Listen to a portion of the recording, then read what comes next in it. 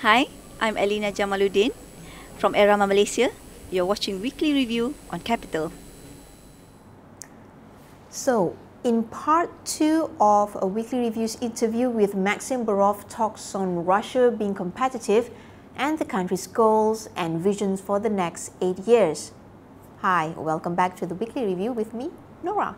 So, right, on the third and part or final part for today, Deputy Trade Representative of the Russian Federation, Maxim Burov, will let us know on where and how you can invest in Russia and what incentive would be appealing to take. Uh, if you want to invest in Russia, what are the sectors Okay. you can look at to now Okay. for, for the long term?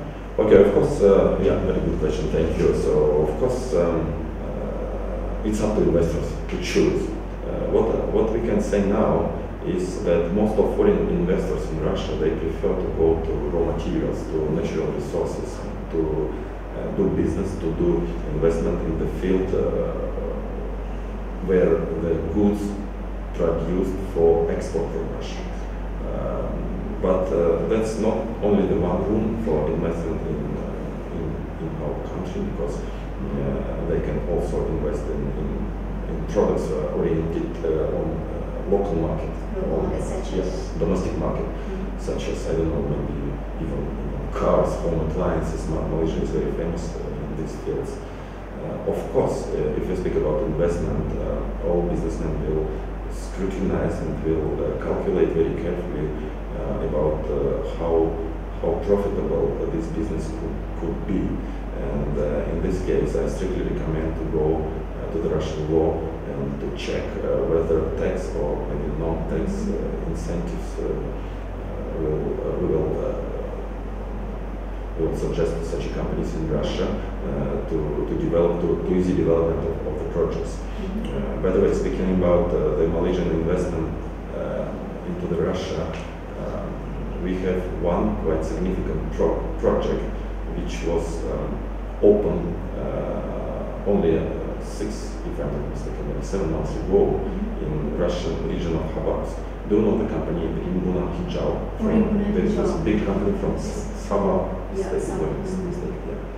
So they opened the timber uh, factory in. Russian uh, Khabarovsk uh, region. They actually export it to Russia, right? Uh, no, no, no. They opened the factory there, A factory and there. they will import timber, I don't know, timber plates, Timber plates, yeah. some products, uh, Process, yeah. process products to, to Malaysia, maybe to other countries in the region. And the, investment scale is uh, approximately uh, 100 million US dollars. Per year. Uh, 100 that, that's a total, total, Total. total spending. Yeah. That, that, That's that, quite a big one. It was lasting for mm, maybe eight years, quite a long time, but uh, successfully, for eight years. hopefully, it- I don't remember when the contract was signed, but something like uh, eight, maybe ten years ago. But it was uh, launched just, just last year, Mhm. uh, in last November.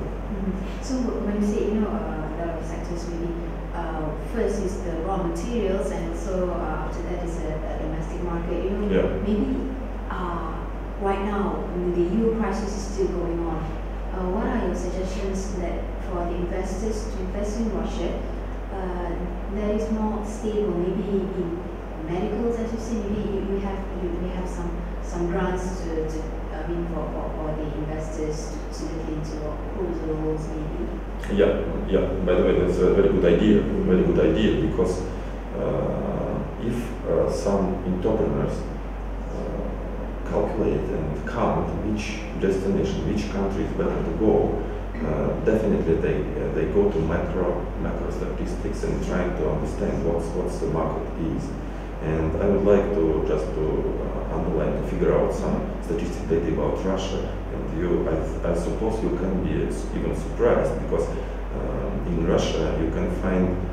Uh, by the way, Russia is sixth by by scale um, largest economy in the world by GDP.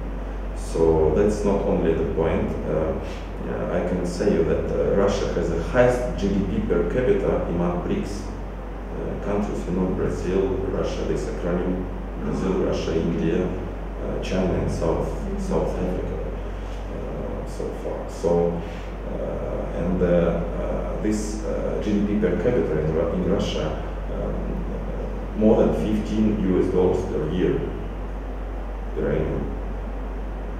That, that's quite a big amount of money. It It's means that really the a lot. consume, uh, con- consume, It's really 15 years. 15 year, uh, thousand US 15,000. dollars Ah. per person per, per capita. Hmm. Uh, that's quite a quite a Yeah, high level. Uh, and uh, by the way, in Russia, uh, we have a special uh, index, special uh, criteria to define uh, middle class. Middle class is actually, according to statistics, is growing, and um, uh, the number of households uh, with with income more than uh, ten thousand US dollars per year in Russia. Uh, if we calculate all these households, we can be surprised that more than 30 million households we have in our country. Comparing with India, uh, they have population much much bigger than we have in Russia. I think six maybe seven times bigger, but they have the same level, the same 30 uh, 30 million households uh, of uh, middle uh, class income. Yes, but the thing is, I mean, uh, Russia has vastly developed right now. I thought that Russia, I mean, Russia is an emerging economy. So, but but I mean, in the in the BRICS um, Mm. uh, alliance itself, uh, Russia is one of the most uh, developed countries, right? Uh, yeah, Mm. by some extent. we have a lot of problems still because because of this. Uh, uh, you remember I told one phrase from uh, from Bismarck. Right, right. So, uh, in terms of investments, again, do, do you have any, um, I'll say, benefits that, or maybe tax incentive for investors to go into Russia? Can you Yeah, speak yeah. more about that? Yeah, speaking about tax incentive, yeah, that's a very good question also because um, uh, the again comparing with other BRICS countries, uh, we can find that in Russia you can find the lowest corporate tax uh, rate uh, at about twenty percent. Then, if you go to personal income tax, uh, you can find that in Russia we have only thirteen percent. This is for for for personal income. I mean that, and this scale, by the way, is regardless to income size. It, it, it doesn't matter whether the person is rich or poor. Mhm. All people must pay uh, only 13%. Yes, but that's very low level because, as far as I know, in China they have forty-five percent. Uh, of course, uh, after the global crisis, after the year 2009, speaking about tax incentives, uh, there are many programs uh, which are focus on helping companies, especially medium and small enterprises, to, to develop and to survive in, in these difficult uh, uh, conditions. And uh, there are a lot of uh, taxes which are diminished and minimized uh, up to zero, or uh, So, down to zero. if, if yeah. I'm uh, one of the businesses here in Malaysia, so if I want to invest in, in Russia, so I have this uh, tax exemption. yeah. You, you can you can get a lot of exemptions. You, you need to choose what kind of business you wanna. Yeah, you Uh. We go for it, the sectors that uh, have these tax exemptions. Yes, uh, especially most of, uh, of the Russian tax law uh, focus on, on the one uh, great priority to diversify Russian economy. If you wanna to invest in I don't know in, in oil and gas business, uh, I think uh, that will be not much exemptions and any tax incentives. But if you would like to develop in Russia, maybe in uh, jo- uh, joint venture form, it's up to you. Uh, any uh, high tech and uh, value added products, I think uh, that tax exemptions and tax level could be uh, down to zero. Ah, They will not get anything. Uh, this is speaking about tax uh, tax incentives. Uh, this is speaking about um, my business want to collaborate with uh, another business in Russia, Yeah. right? It's up to you. Even if you want to have in Russia 100% company uh, which belongs to Malaysian uh, owner, uh, that's not a problem at all. You will uh, get the same exemptions and the same tax incentives, uh, good uh, conditions for, for doing business in Russia. It doesn't matter whether you have a Russian partner or not. Mm, I see, I see. So, I mean, it, it, is, it is a very good benefit then for, for the investors to invest in Russia in, in sectors like that, such as in IT and software, Yeah, yeah, of medical, course, right? of course. medical and Of uh, such as you said, maybe nuclear sector, right? Yeah. The five priorities for the Russians, uh, Yes, yes. Russian government, Yeah, right? absolutely. I see. See. Exactly. So when, when you think about that, um, speaking back to the GDP growth, uh, I mean, does Russia has I mean uh, uh, take a uh, take a lesson with Malaysia's economic transformation program, also the uh, government transformation program to actually uh, emulate that in Russia. Yeah, we- have very, very many similar points. Uh, we need, maybe we- should better communicate between uh, governmental bodies, between governmental agencies. And by the way, uh, uh, there is one idea. Uh, now we are together with uh, Malaysian uh, authorities, Malaysian government, working on uh, one uh, actually uh, ambitious goal. We would like to fix a framework for communication between governments. We would like to, to create a intergovernmental commission uh, which will work in, in trade and science and culture and, and will uh, help business to, to develop all this uh, all this trouble they can collide with.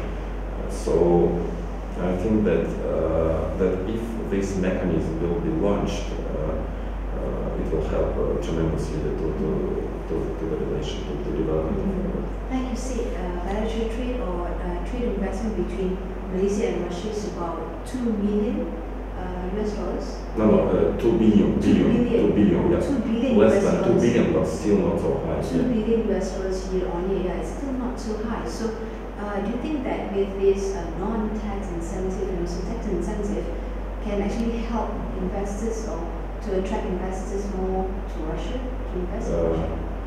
Of course, all these inve- uh, in- incentives uh, focus on attracting foreign investors, foreign uh, uh, companies who, who prefer to make an FDI, foreign direct investment. So uh, it will help uh, as as to develop a relation between companies and uh, develop investment sector as it is, but also, uh, as you mentioned, to it will help to develop trade also.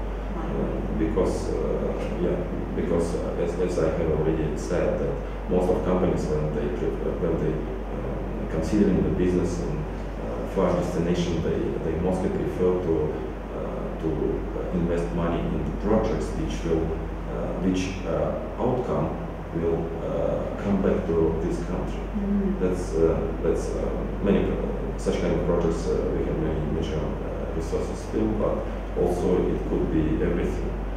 Mm. Of course, uh, big companies they have uh, their own strategies and they do business a different way. They, they estimate much many factors, but uh, speaking more of the uh, the starting level of cooperation, we should go this way. Right, right. So, okay, one last question before we end our session here. Uh, do you think that uh, Malaysia and Russia can, you know, go through, how to say, move forward to actually, you know, um, uh, achieving more than maybe uh, the five billion level? Yes, yes, I- I- I'm sure the know- next five years. Maybe why not? By the way, why not? We, we should uh, check our relations. We should, we should maybe yeah, decide and uh, look in details what, is good, what is bad, and uh, and put any ambitious goal like you have in governmental transformation and economic transformation program in Malaysia, uh, maybe to double our trade relation in upcoming two, three, I don't know, five years. Not? And uh, find out the ways how can we do it. And I think that this framework, if uh, it will be um, launched in the near future, it will help. I'm speaking about the Intergovernmental Commission. Russia reported a trade surplus equivalent to 14 billion US dollars in June of uh, 2012. Historically, from 1994 until 2012, Russia balance of trade averaged 7.05 billion US dollars, reaching an all-time high of uh, 20.5 billion US dollars in December of 2011 and a record low of 0.19 billion dollars in February of 1998. Metals and energy make up more than 80% of Russia's exports. The country is the world's largest oil producer and the biggest exporter of natural gas, nickel, and palladium. Well, so that was uh, Maxim Burov from the trade representations of the Russian Federation. Don't forget to send us your feedback on the show at weeklyreviewcapital at gmail.com or hashtag weekly review capital on Twitter. Our Facebook page is up and running, so you can reach us there at facebook.com slash weekly review capital. We'll be right back after the break. Lenovo's up at the ante with the ThinkPad X1 Carbon. Interested? Stay tuned with us.